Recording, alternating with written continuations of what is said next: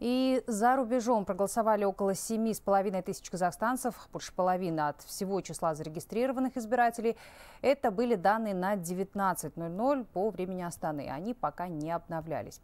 Напомню, в 53 иностранных государствах открыли 68 участков. В Европе, в Африке, а также в Северной и Южной Америке они сейчас продолжают работу. Подробнее о том, как голосуют за рубежом, расскажет наш международный обозреватель Вероника Боярова. Уже завершили свою работу участки на азиатском пространстве. Среди них те, что расположены в Китае, Корее, Японии, Индии, Пакистане, Малайзии и Таиланде. Процесс также закончен в Баку и Тбилиси, а вот в Штатах он только стартовал. Голосование продлится до утра по нашему времени. Разница между Астаной и Вашингтоном – 11 часов. Я проголосовала. Чтобы добраться сюда, пришлось 7 часов ехать на поезде. Но это мой гражданский долг. В Европе участки продолжают работу. Во Франции почти половина голосующих оказалась туристами. Избирательный участок один в Париже. В Германии с 7 утра работают три избирательных пункта.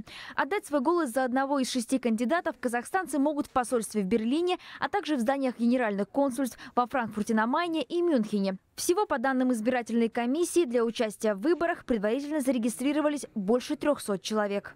Я студент, учусь здесь, в Берлине, параллельно работаю в сфере IT. Я пришел сюда на выборы, потому что считаю, что у каждого молодого гражданина Казахстана должна быть своя четкая позиция. Сегодня пришел с достаточно определенной целью проголосовать за кандидата. Я приехала из другой федеральной земли, Заксен-Анхальт, специально в Берлин. А, примерно два часа сюда ехать.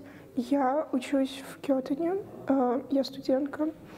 И я решила сегодня прийти, потому что а, недавно 18 лет исполнилось, и я считаю, что это важно голосовать. В Румынии, где тоже пока продолжается голосование, избирателей угощали традиционными казахскими блюдами.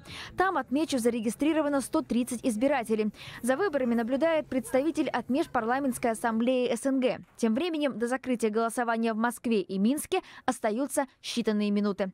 Вероника Боярова, Хабар, 24.